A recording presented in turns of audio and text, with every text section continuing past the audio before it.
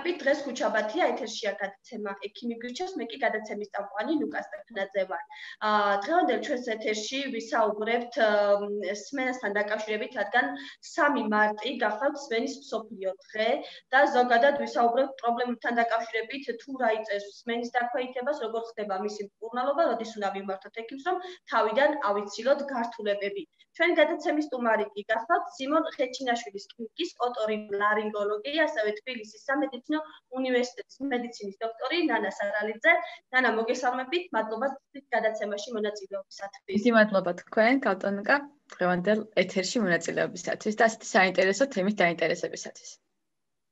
მადლობა კიდევ ერთხელ და პირველ რიგში რომ ავხსნათ რა არის რა იწევს მენის დაქვეითებას, რადგან ეს 3 მარტით ზოგადად ცნობიერების ამაღლების ბას უკავშირდება და ჩვენს შევიტანოთ პუნქტი ამ თემასთან დაკავშირებით და ჩვენს მაყურებელს რომ აღუხსნათ რა იწევს ძირითადად სმენის დაქვეითებას.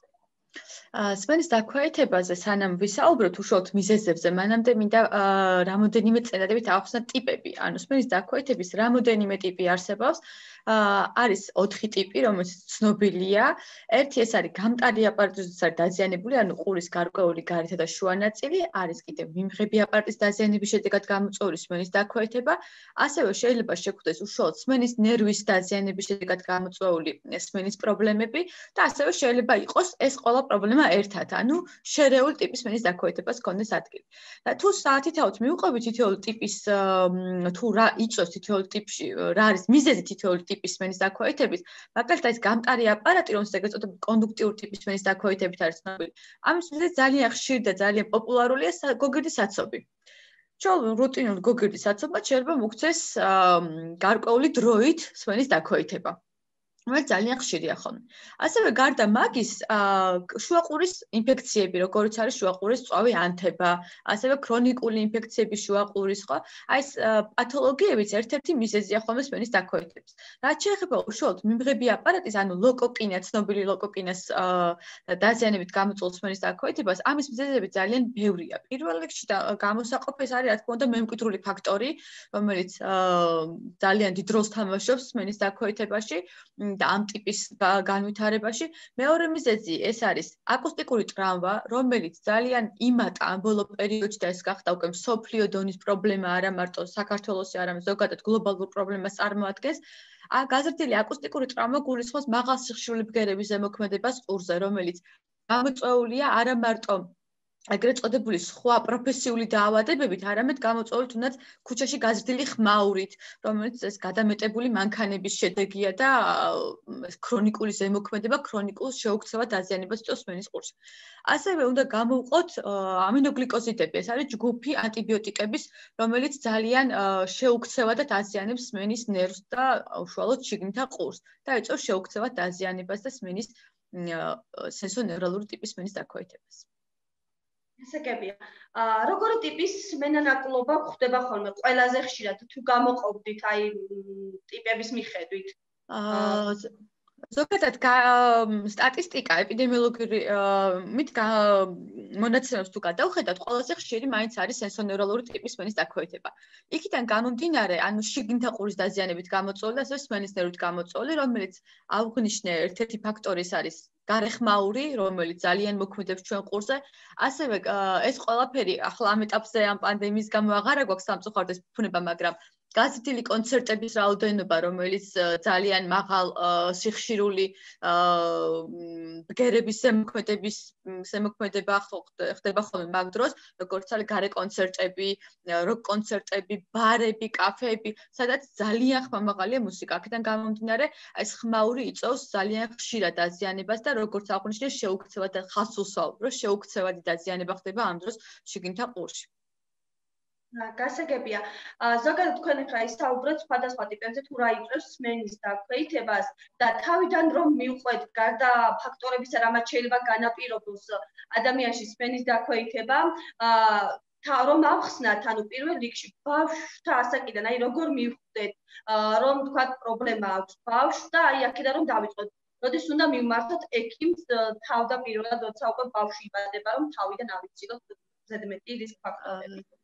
დიდი მადლობა, ძალიან კარგი კითხვა. აა, ეცით ძალიან მნიშვნელოვანია ორსულობის პერიოდი.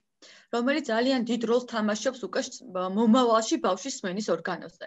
აა ძალიან მნიშვნელოვანია ორსულობის დროს გადატანილი ინფექციები. ნუ გარდა მემკვიდრული ფაქტორი, ახაც აუცილებლად ესე გამოყოფილ უნდა აღვნიშნოთ, გარდა მემკვიდრული ფაქტორისა, ეს ინფექციები და გავრცელებული საბავშვო ინფექციები, როგორც არის წითელა, წითურა, აი ამის გადატანის დროს, ორსულობის გადატანის დროს პრაქტიკულად თითქმის 80-85%-ში გვაქვს სმენის სმენის დაქვეითება.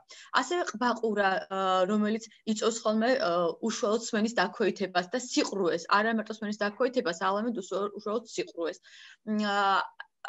რას შეიძლება მინიშნებებს, რა დროს უნდა მოახერხოს მშობელმა ამის ყურადღების გამახვილება, ძალიან კარგია და ძალიან დიდი დამსახურება აუდიოლოგიის ცენტრის და ჩვენი კლინიკის, რომ არსებობს უკვე სკრინინგი ტესტები, რომელზეც ყველა ახალშობილს უკვე უკეთებენ სამშობიარო სახლში დაბადებისთანავე, მითით მაწდება უშუალოდ შიგნითა ყურში მარკეული უჯრედების ფუნქცია.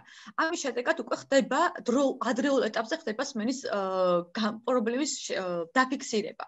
ამის შემდეგ ძალიან მნიშვნელოვანი თუ თქვა მოხდა ისე რომ არ ვიცი რა სიტუაცია რა ყველა რაიონში ვიცი რომ სკრინინგ ტესტი არ კეთდება სამწუხაროდ მაგრამ რაიონებში ძალიან დიდი მნიშვნელობა აქვს მშობლის გარკვეულ ყურადღებას. ბავშვმა უნდა მოახდინოს დაახლოებით 40 დღის მერე ბავშვმა უკვე უნდა შეძლოს 40 დღემდეც უნდა შეძლოს ბავშვმა ხმაურზე რეაგირება უნდა რეაგირებდეს ხმაურზე დედის ხმაზე უნდა მქონდეს უკვე რეაქცია. თუ ბავშვს ეს მომენტები არ აქვს ძალიან მნიშვნელოვანია დროულად თვეებზე აქ წლამდეა საუბარი წლამდე უნდა მოხდეს აუცილებლად სმენის გადამოწმება და შემოწმება. ამიტომ ვიყენებთ ხოლმე რამოდენიმე ტესტს, განსაკუთრებით მნიშვნელოვანია ობიექტური აუდიომეტრია, რომელიც კეთდება დაძინებით, ძალიან მარტივ ეს ვთქვათ, არაინვაზიური ჩარევა, აა გამოკლევის ტესტია, რომელიც უშუალოდ სმენის ნერვისა და შიგნითა ყურის ფუნქციას იკვლევს. ამის შედეგად უკვე ხდება დიაგნოსტირება სმენის.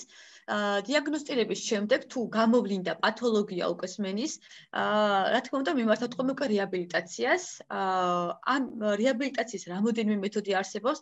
რა თქმა უნდა, აქაც მნიშვნელოვანია ხარისხი, თუ რა ხარისხის სმენის დაქვეითებაზე გვაქვს საუბარი. პირველი ორი ხარისხის შემთხვევაში გვაქვს სულ 4 ხარისხის სმენის დაქვეითება. პირველი ორი ხარისხის შემთხვევაში სმენის დაქვეითებაზე კურნელობა როგორც ეთი არ ხდება და არც რეაბილიტაცია განსაკუთრებით მნიშვნელოვანია თუ დაქვეითება ეხება მხოლოდ ერთ ყურს. ხო, თუ არის ორივე ყურის შემთხვევაში სმენის დაქვეითება, აქ უკვე რა თქმა უნდა სხვა სხვა მიდგომები გვაქვს. თუ არის მხოლოდ პირველი მეორე ხარისხი როგორც აღნიშნე ჩარევა არ საჭიროებს, ხოლო მესამე და მეოთხე ხარისხის სმენის დაქვეითებაზე უკვე უნდა მოხდეს დროული რეაბილიტაცია. აი, რამდენად რთული პროცესი არის მკურნალობის პერიოდი, თუნდაც ბავშვებში და ასევე მოზრდილ ასაკშიც, უკვე როცა დადგება დიაგნოზის მენასთან დაკავშირებით. აა ძალიან მნიშვნელოვანია არა მარტო თვითონ პროცესი სმენის აღდგენის, არამედ პოსტ შემდგომი პერიოდი, რეაბილიტაცია. აი განსაკუთრებული ყურადღება ექცევა რეაბილიტაციას. თუ გვაქვს მესამე ხარისხის სმენის დაქვეითება, თუნდაც მეორე ორივე ყურზე თუ არ დაქვეითება მეორე ხარისხის შემთხვევაში, ვაკეთებთ ხოლმე სასმენ აპარატს. უბრალოდ ჩობს სასმენი აპარატი, რომელიც ალბათ შეგიმჩნევთ ხოლმე, რომ ბევრს აქვს ასე ვთქვათ, ყურის უკან დამაგრებული სასმენი აპარატი. მაგითიც შესაძლებელია რომ მოხდეს სმენის გაუნჯობესება და ასევე მნიშვნელოვანი მომენტი ეს არის კოხლერული იმპლანტი ეს ყველაზე თანამედროვე მიდგომაა სმენის რეაბილიტაციის. კოხლერული იმპლანტის შემთხვევაში, რა თქმა უნდა, ეს არის ქირურგიული ჩარევა, რომელიც საკმაოდ ძვირადღირებული საშუალებას წარმოადგენს, მაგრამ არსებობს პროგრამა, რომლის საშუალებითაც ხდება დაფინანსება კოხლერული იმპლანტის. კოხლერული იმპლანტის შემთხვევაში, საკაც მნიშვნელოვანია დრო, აუცილებლად უნდა მოხდეს ამ სმენის რეაბილიტაცია დროულად დაახლოებით წლამდე, 2 წლამდე სანამ ბავშვი დაიწყოს უშუალოდ მეტყველებას, რომ ციტყვების დეფიციტი არ შეექმნას ბავშვს, რომ მე მარტივად შეძლოს მეტყველება, იმიტომ რომ გამომდინარე იქიდან, რომ ვერ საუბრობს, იმიტომ რომ არ ესმის, სწორედ ეს ფაქტორი, რომ არ იყოს და მან შეძლოს ყველა სიტყვის დროულად გაგება, ამიტომ მნიშვნელოვანია, რაც შეიძლება ადრეულ ასაკში მოახერხოთ სმენის რეაბილიტაცია. აგვიანებულ კურნალობას ასე თქვათ რა იწევს აი გამომწვევი გართულება რა შეიძლება იყოს მაქსიმუმ ა სამწუხაროდ შობლის უყურადღება. პირველი მიზეზით რაც დაგვიანებად ითვლება, ეს არის მენის შობლის უყურადღება. როდესაც შობელი არ ამახვილებს ამ ყველაფერზე ყურადღებას, ძალიან მნიშვნელოვანია ბავშვი არ იყოს მჯეჭული დღევანდელ თანამედროვე ტექნიკაზე.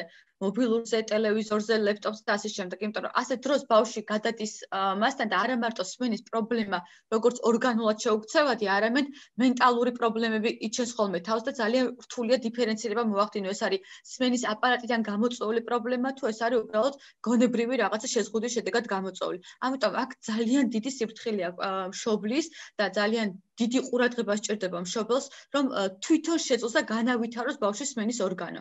იმ შემთხვევაში თუ მოხდა დაგვიანება სამწუხაროდ დაგვიანების შემთხვევაში, როგორც ერთი კურნალობა, რა თქმა უნდა, ვაკეთებთ და მიმართავთ ისე თუნდაც 5 წლამდე, მაინც დასაშვებია, რომ გაკეთოს კოხლეარული იმპლანტი, მაგრამ შედეგები უკვე არის ხოლმე ცოტა მოსუსტებული და საჭიროებს უფრო მეტ რეაბილიტაციას, უფრო გახანგრძლივებულ რეაბილიტაციას, რაც მე დიდ შრომაზე, დიდ ფინანსებს უკავშირდება. გასაგებია. თქვენ ისაუბრეთ რამდენიმე გამომწვევ მიზეზებზე და მინდა გითხოთ, ანუ თუ არის გამოყოფილად რისკ ჯგუფები, ვინ შეიძლება უფრო მეტად გაამახვილოს ყურადღება თავდაპირველად და გენეტიკურ ფაქტორზეც მინდა გავუსვათ ხაზი, შეიძლება იყოს თუ არა სმენის დაქვეითება, ანუ გენეტიკურადაც გადა გადამდებია რა ვთქვათ, გადაცემი. კი. რა თქმა უნდა, თავიდანვე აუხმის გავტონცა, რა თქმა უნდა, ეს არის გენეტიკურად განპირობებული დაავადება. ძალიან მაღალ ჯგუფში, რა თქმა უნდა, ეს არის გენეტიკური ხასიათის. თუმცა გარდა მაგის, აუცილებლად მნიშვნელოვანია რისკ ჯგუფების გამოყოფაც. რისკ ჯგუფებში შედიან პროფესიულად დაავად პროფესიული და როგორ უნდა ვთქვა, ან პროფესიული დაავადებასაც წარმოადგენს ხოლმე სმენის დაქვეითება, მაგალითად, ვინც ხმაურიან გარემოში ხანგრძლივად მუშაობს. ესენი არიან მუსიკოსები, ესენი არიან თუნდაც მეტროში მომუშავე ადამიანები, ან ისეთ ადგილებში მომუშავე ადამიანები, ვინც ქრონიკულად, რომელზეც რომლის სმენის ცენტრის ქრონიკულად სულ ღიზიანდება. ასევე თუ დავიწყოთ ჩულ ბავშვთა ასაკობაში, როგორც აღვნიშნეთ, ორსულობის პერიოდში გადატანილი ის ინფექციური დაავადებები. ასევე ძალიან მნიშვნელოვანია თანდაყოლილი ბავშვთა სეფსისის დროს კურნალობა. ძალიან ხშირად ხდება ხოლმე ესე სამწუხაროდ ჩვენს ქვეყანაში და არა მარტო ჩვენს ქვეყანაში, აა სეფსისის დროს, როდესაც ბავშვი იბადება შემგრეული წყლით და ამ დროს შობლმა უნდა გაამახვილოს ამაზეც ყურადღება, რომ თუ დაიბადა ბავშვი უკვე შემგრეული წყლით და მოხდა მისი გადაყვანა სხვა თუნდაც რეანიმაციულ განყოფილებაში და ეგ მკურნალობის ჩატარება ძალიან ხშირად და პირველი ჯგუფის მედიკამენტია ამას ვერ შეუცვლით სამწუხაროდ ამინოგლიკოზიდები ეს არის გენტამიცინი, კანამიცინი და ასე შემდეგ. აი ამ ჯგუფის მედიკამენტების მიღება ძალიან მნიშვნელოვანია აი აქ მოხდეს შრატში უშუალოდ მედიკამენტის დონის განსაზღვრა და ეს უნდა მოითხოვოს მშობელმა სამწუხაროდ ეს გაიდლაინით არ არის და ამიტომ უნდა მოახდინოს მშობელმა ამაზე ყურადღება და აქცენტირება.